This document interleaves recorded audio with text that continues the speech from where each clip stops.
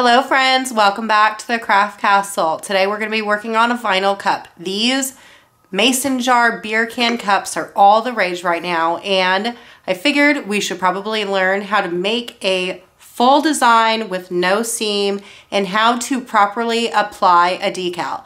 The first part of this project is going to be the design process where I'm going to show you a lot of tips and tricks on how to not get a seam and how we're going to line up our decal perfectly.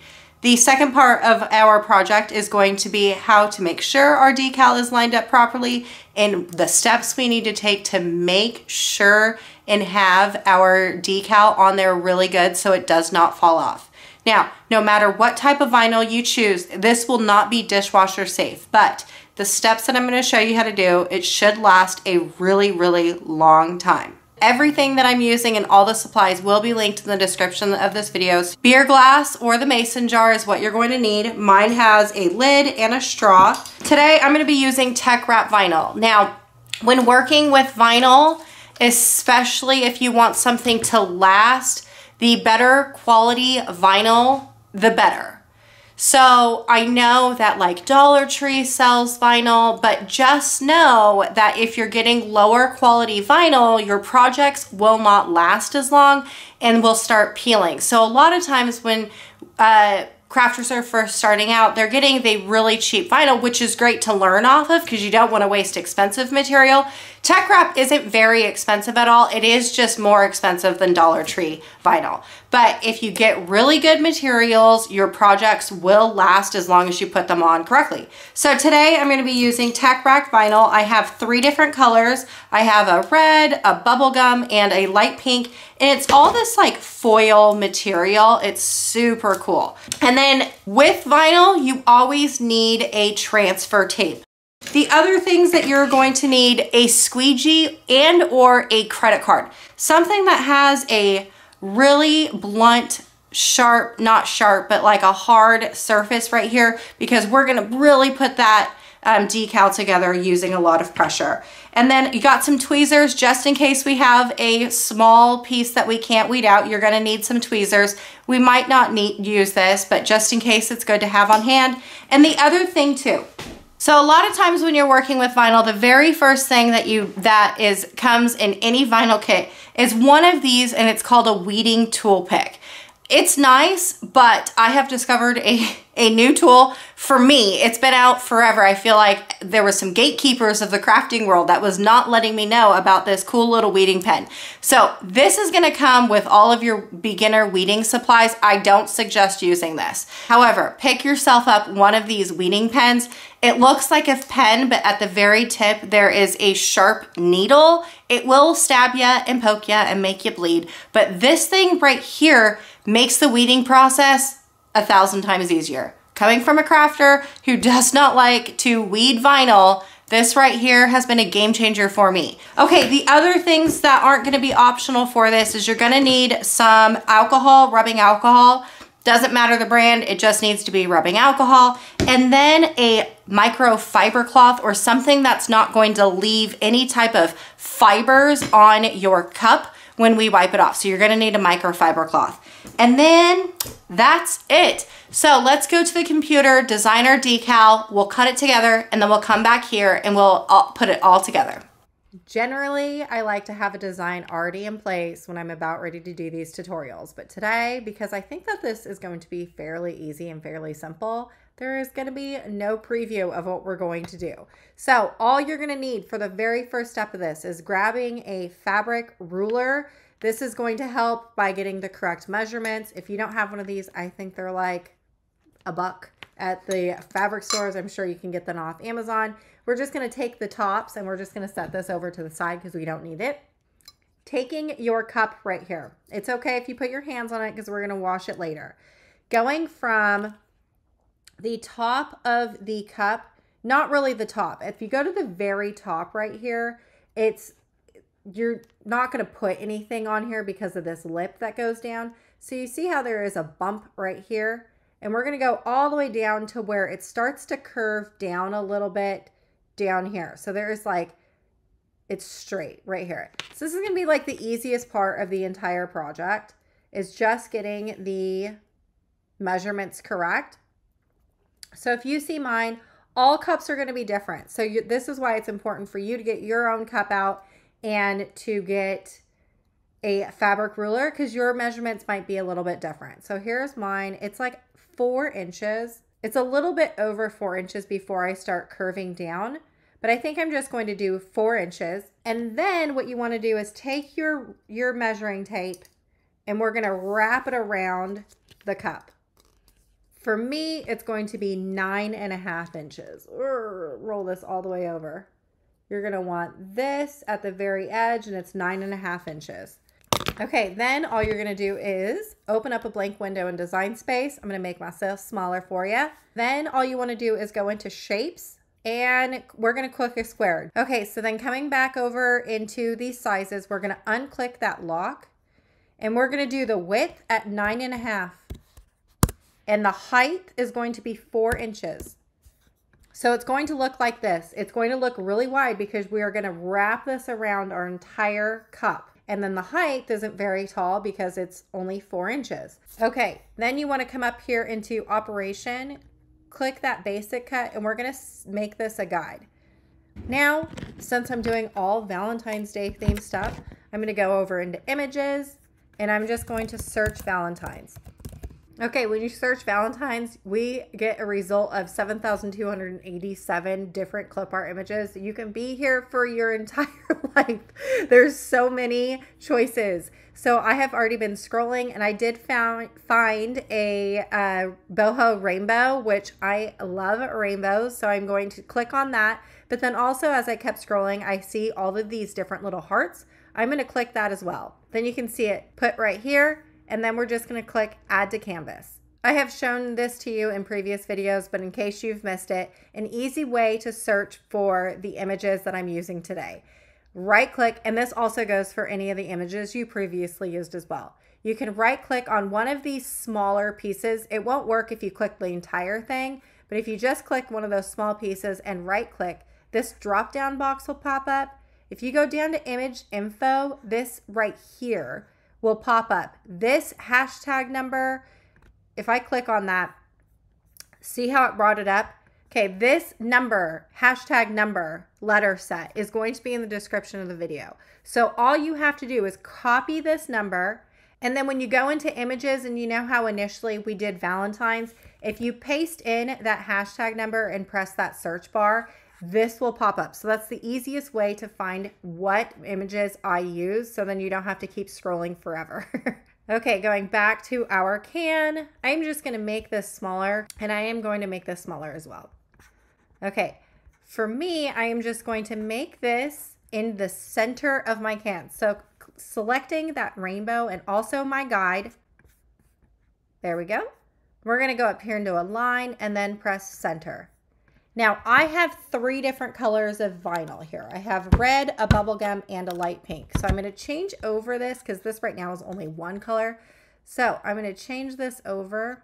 We got one red and we got one pink. Let me do that heart. I'm going to change that heart into something else. So I'm going to duplicate. So Command D, which is duplicate. And then I'm going to go down here into contour and I'm going to select everything that I do not want. So I'm going to hit that and hit that. They're going to disappear and I'm going to be left with that heart. I'm going to change that heart into a different color. And then I'm just going to drag this heart and place it on top of that one heart. Now go back over into your original image, click that red rainbow, press contour, and then we're going to click that heart because we already have one. We do not want it anymore. There we go. Just like that. How cute, right? Okay, I'm going to go back over and do this, and I am going to ungroup this. So coming up here into ungroup, and you're going to have like all these little hearts. I want the hearts. I do not want that circle, but I only want one heart. So I'm going to do contour, and instead of just like clicking a whole bunch of things, let's go to hide contour and see what's left is that half circle. I'm just going to click one of the hearts, and then I'm going to click back the half circle, and then click out. And now you're left with one little heart.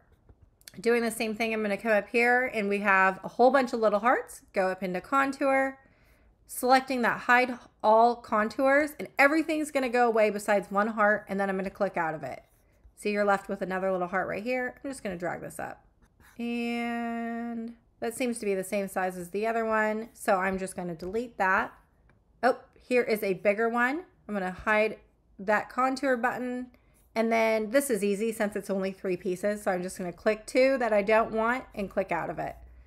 We got this one, contour, click one, and click out. See how quick and easy this is? I mean, just a simple little craft. Contour, and we'll click everything but that. Okay, now I don't know if we're gonna use all of these colors, but we shall see. All right, so now because we only have three colors, right? I have the red, bubblegum, and light pink. I only want three colors. So I'm gonna go over into the color sync, and I'm just going to arrange these like this red, I'm gonna put over into this. So there's one. Here is a bubble, this is a bubblegum color. So I'm gonna bring this over and put it with the bubblegum. And then let's take this and move this over into the light pink. We looks like we still have four colors here. So I'm gonna put this over into light pink as well. So now you only have three colors in your field. So when you go and cut this, you're only gonna have three colors to cut. Going back over into layers, now all you wanna do is place these in any random spot that you wanna be placing them. I have my first original five, and then all you wanna do for copying pasting is Command C and then V. Another one's gonna pop up and then you would just keep on going on. Command C and V. Okay, when you have filled up your can, kind of how you think you're going to like it, select all of this and we're just going to group this real quick. Now, the reason that we're going to do this next step is sometimes when you make wraps, when you go to place it on there, you're going to have either some that are overlapping or you're going to have like a strong line or you're going to have something in a spot where you're like seeing double of it. This is how to avoid that. So when you've already Command G or group this, we're going to slide this over to the right and then we're going to duplicate it. It's not going to be here forever. Okay, so this is technically your left side. And then when you roll it over, what's going to be on your right is this image right here. So if we line this up together, this is what your seam is going to look like. So you're going to have two heart, two red hearts and then two pink hearts right next to each other. If that's not what you want, going back into your original one, Command Shift G, which is ungroup, and I'm going to switch these over. See? Small little tricks. And see how now this seam looks a lot better? So this is kind of like that little trick. Now we're going to delete the one that we duplicated. We're going to select all of this and then press group again because we did ungroup it. And we're going to Command D, which is duplicate. We're going to do the same thing we did before. We're going to take it over to the right. We're just going to line those edges up and see how now for this side, it looks different as well. So for this, I think what I'm going to do is I'm going to Command Shift G, which is ungroup, and I am just going to rotate these a little bit to where they just are a little different on both on the both. So they don't line up perfectly. Okay, when you have everything in place of how you want it, I think that I need a little bubblegum one right there. So I'm just going to take one and duplicate and drag it over. More is more, in my opinion, in this. So I'm just going to delete the one we duplicated. Okay, going over into our design, we're going to select that grouped rainbow and we're going to ungroup it. So Command Shift and G, which is ungrouping. Now what you want to do is find everything that is red. So here is a red heart. Press Shift on your keyboard and just scroll down into your um, layers box and we're going to click all the red hearts. When you have everything that's red, come down to attach.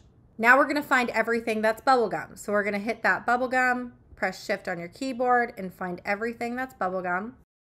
Okay, when you have everything, then press attach. Now we're to find all the light pinks, which it should just be all grouped right here together.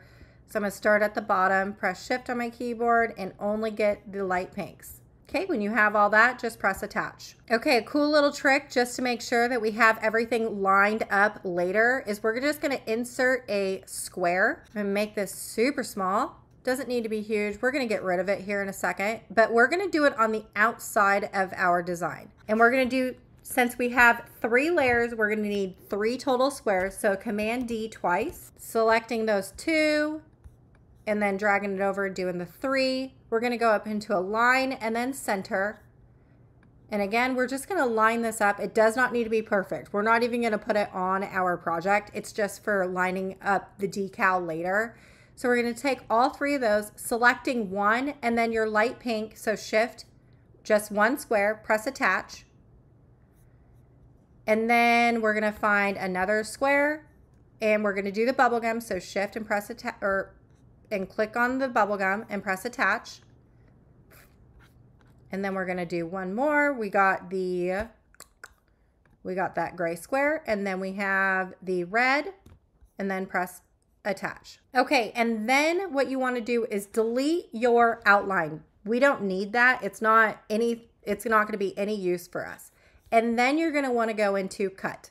Okay, now see how there's like some weirdness and there's like different spacing? That's exactly what you want because we have already spaced it the way we want in the design process. And that's where this square is going to come into play. So now what you wanna do is grab your vinyl and then turn on your Cricut machines and let's get to cutting. When you're working with this vinyl, always make sure that you pull off this clear protective layer. It's so it doesn't get scratches during shipment, but you will not be able to cut your decal if you don't have this pulled off. Okay, anytime I'm working with vinyl, once you get it cut, before ejecting out of your machine, so you see how it is blinking right here, this is ready to go. Don't, before you eject it from your machine, I always take my weeding pick and I'm just gonna take the corner and I pull back. If it does not weed for you really well, then push this back down and press the cut button. So instead of doing the eject button, press the cut button and then it'll suck it back in and cut it. But it looks like for me, the first cut that I did seems to be weeding really well. So I won't need to do a double cut. So all I'm gonna do is just press the eject button and now I'm gonna load in my next color. Even if I get the correct setting the first time on the first color, I always like to just peel back just to double, to double check that this cut correctly. Then eject and switch to the next color. When you have everything cut out, you just wanna take your weeding pick or your weeding pen and you just wanna weed out everything you do not want. So if you want the dots, if you want the heart, keep them on there. We're just going to weed out what we do not want. Some of these dots are coming up with my weeding. So all I'm doing is I'm going backwards and I'm just resetting it onto the sheet, making sure that I'm not taking any with me. Okay, there is everything for the bubble gum. Now you just want to set that aside and we're going to weed out the red. Doing the same thing with the light pink. We're going to weed out the things we do not want. If you have hearts that are staying, with your weeding, like this one right here does not want to come down, stay down. I'm just going to take my pick and I'm going to push it down. And then hold on to it as I continue to lift. All right, so this is all garbage now. Okay, now all you want to do is take some of your transfer tape that you have and we're going to make it be we're only going to need one piece of transfer tape for this. So we're just going to make this the same size as our decal using our scissors and we're just going to cut this to size. Okay, so this this transfer tape is about the same, roughly the same size as my decal. So I'm just going to take one corner of this and I'm going to line it up with the corner of my decal.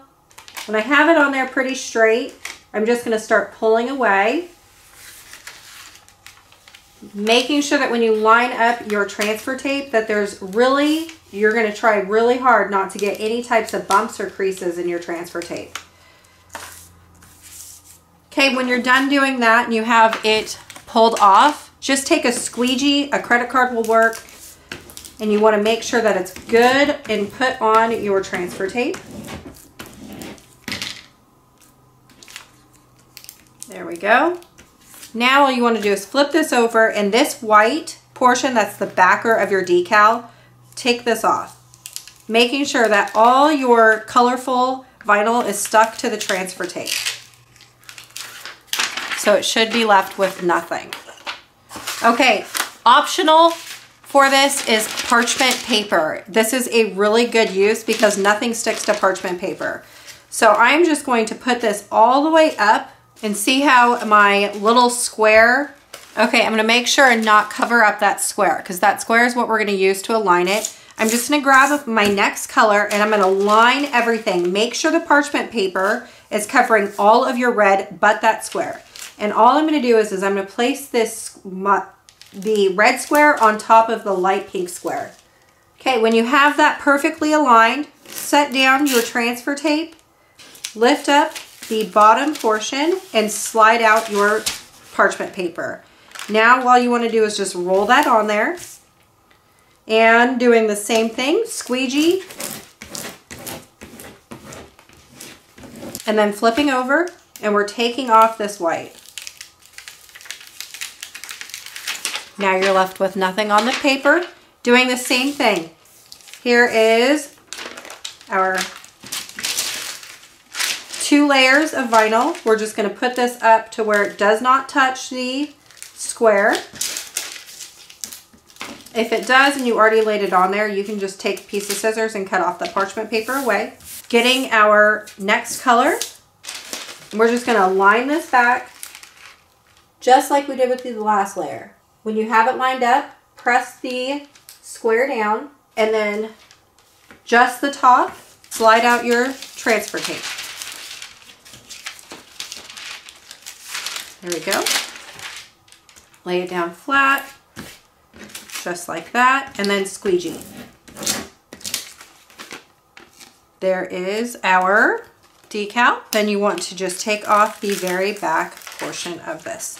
So now we have a perfectly layered and aligned decal that's ready to go on your cup. To prep the cup, all you're gonna wanna do is just, I lay this down on my microfiber towel and I just take a little bit of alcohol and I wipe this down. When you do this, you wanna make sure that you don't touch it with your hands too much anymore until you place the decal down just because we wanna make sure that we don't get any of our skin oils onto the glass because that's gonna affect the way it sticks to your glass. Just to prevent it from rolling further, I am just going to keep it on my microfiber towel just so it won't slip and slide everywhere. Now that we have everything completely aligned up, I'm just going to cut away that square because that's what we do not want on our um, cup. Then all you have to do is align this on your cup. Okay, when you got it, your rainbow down, now all you want to do is pick it up from the inside and lay the one down we're gonna rub it good and then lay the next side down. See how my transfer tape is just a little bit bigger than my decal. So when I lay this over, my decal is gonna lay on top of my transfer tape. So keeping this up, I'm just gonna pull this back just a little bit. Making sure that the hearts that I want on there stay on there. And then I'm gonna lay this down. There we go. Okay, before you take the tape off, take your squeegee or your credit card and rub it real good. The other bonus tip I like for this, I don't have my blow dryer or my craft blow dryer or my hair blow dryer up here right now, is if you have a hair blow dryer or a crafting blow dryer, shoot this with a little bit of heat. That'll really activate the glue and make it adhere onto your glass. But because you uh, rubbed rubbing alcohol on this, you shouldn't have any issues. But we're gonna make sure and rub this on real good. No air bubbles in our vinyl. Okay, when you're done, you're just gonna take that one corner and peel off your transfer tape. And there we have it. Nothing is left over on my transfer tape and now our glass is complete. Okay, I would not suggest dishwashering this in your dishwasher, hand wash only, and try to only just do a light wash on the outside of this, but otherwise that, this is your finished cup.